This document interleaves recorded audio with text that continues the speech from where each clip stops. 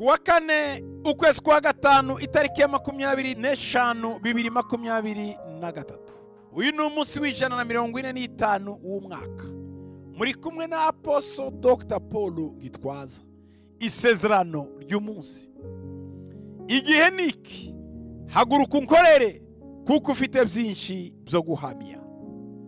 Ibyakozwe n'intumwa makumyabiri na gatandatu ku murongo wa cumi na gatandatu ariko haguruka uhagarare.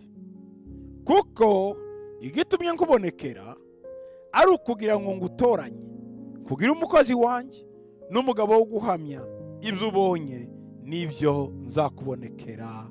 Amen. Umva ngo iki ni cyo gihe ugomba guhaguruka ugakorera imana ufite byinshi byo guhamya.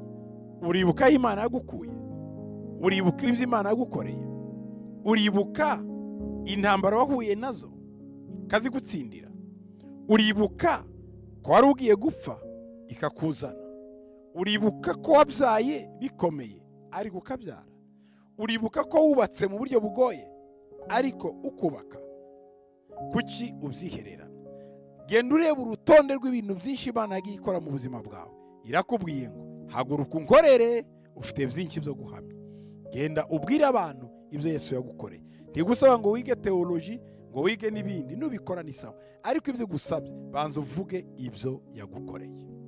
Mana ndagushima ku buhamya bwa mwene data bugiye gukora ku bantu benshi bagahindukira bakakumenya kuri imana. Kandi nawe ukamwambika imbaraga zo kubuhamya mu izina rya yesu.